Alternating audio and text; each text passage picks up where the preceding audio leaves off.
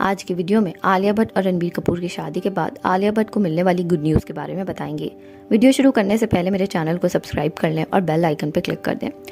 आलिया भट्ट और रणबीर कपूर शादी के बाद से चर्चा में तो है ही, लेकिन आलिया भट्ट रोज बरोज बहुत ही ज़्यादा फ़ेमस होती जा रही हैं और अब आलिया भट्ट को मिली है एक बहुत ही बड़ी गुड न्यूज़ आलिया भट्ट ने टॉप एक्टर्स और इन्फ्लुएंसर्स की लिस्ट में फोर्थ पोजीशन ले ली है।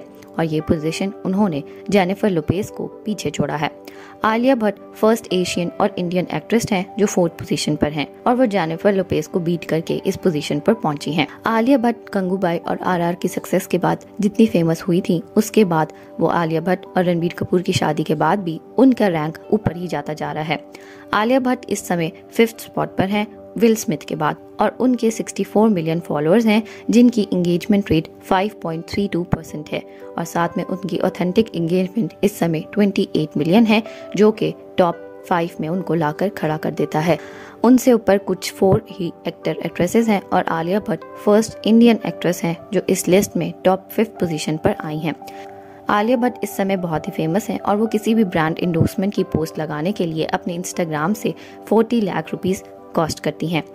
बट आलिया भट्ट के बाद अगर किसी और एक्ट्रेस की बात करें तो इस लिस्ट में आलिया भट्ट की तरह फ़ेमस तो कोई भी नहीं है। बट आलिया भट्ट के बाद प्रियंका चोपड़ा, श्रद्धा कपूर और रश्मिका मंदाना थर्टीन एटीन और नाइनटीन टॉप पोजीशंस पर इस समय रिस्पेक्टिवली नज़र आ रही हैं।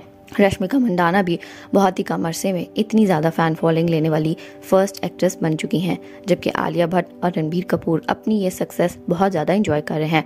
आलिया भट्ट की नेक्स्ट मूवी ब्रह्मास्त्रा, जो कि रणबीर कपूर के साथ है, वो बिल्कुल रिलीज़ के लिए बिल्कुल रेडी है। बात करें आलिया भट्ट की तो आलिया भट्ट हॉलीवुड में भी डेब्यू करने वाली हैं। आपको आलिया भट्ट की न्यूज़ के बारे में जानकर कैसा लगा, हमें कमेंट्स में बताना ना भूलिएगा।